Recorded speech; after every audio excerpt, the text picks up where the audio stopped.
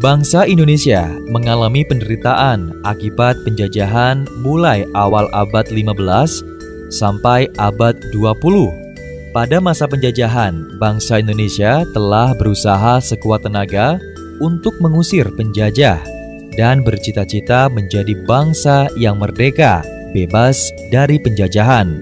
Berbagai bentuk perlawanan terhadap penjajah dengan cara mengangkat senjata, namun, pada umumnya bentuk perlawanan semacam itu mengalami kegagalan. Akibat kegagalan demi kegagalan itu, maka mulai awal abad ke-20 lahir pemikiran untuk mengubah strategi perjuangan dari perjuangan yang dilakukan sebelumnya. Kemudian, lahir sistem perjuangan baru yang dikenal dengan kebangkitan nasional. Klik dan perhatikan uraian di bawah ini tentang bagaimana terbentuknya suatu proses kesadaran nasional di Indonesia pada awal abad 20-an.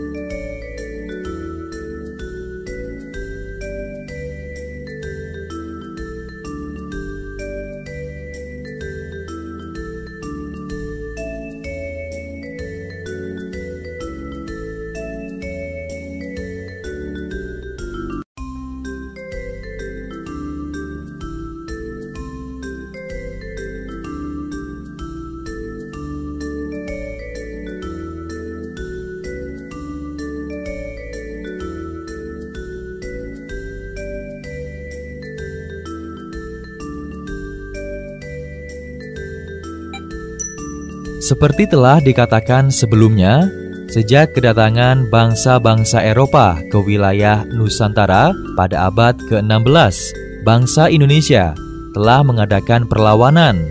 Namun segala bentuk perlawanan yang dilakukan tersebut selalu mengalami kegagalan. Adapun faktor penyebab gagalnya perjuangan bangsa Indonesia dalam mengusir penjajah adalah satu, Perjuangan bersifat kedaerahan 2. Perlawanan tidak dilakukan secara serentak. 3. Masih tergantung pimpinan atau jika pemimpin tertangkap, perlawanan terhenti. 4. Kalah dalam persenjataan. 5. Belanda menerapkan politik adu domba atau divide et impera. Berdasarkan pengalaman tersebut, kaum terpelajar ingin berjuang dengan cara yang lebih modern, yaitu menggunakan kekuasaan organisasi. Klik tombol-tombol di bawah dan kemudian perhatikan dengan seksama organisasi pergerakan nasional di Indonesia yang dimotori oleh kaum terpelajar di Indonesia.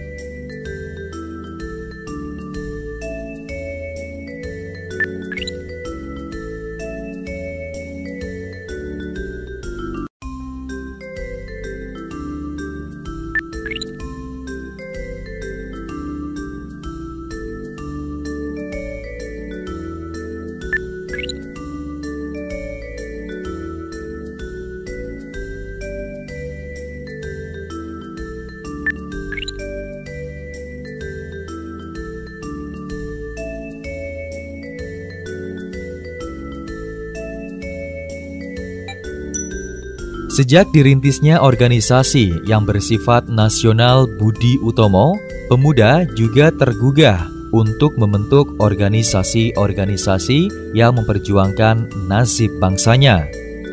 Untuk menggabungkan semua organisasi kedaerahan menjadi satu kesatuan, mereka mengadakan Kongres Pemuda Indonesia. Selama zaman penjajahan Belanda, Kongres Pemuda Indonesia diselenggarakan tiga kali. Klik tombol di bawah ini untuk mengetahui latar belakang Kongres Pemuda yang diadakan serta maksud dan tujuan diadakan Kongres Pemuda tersebut.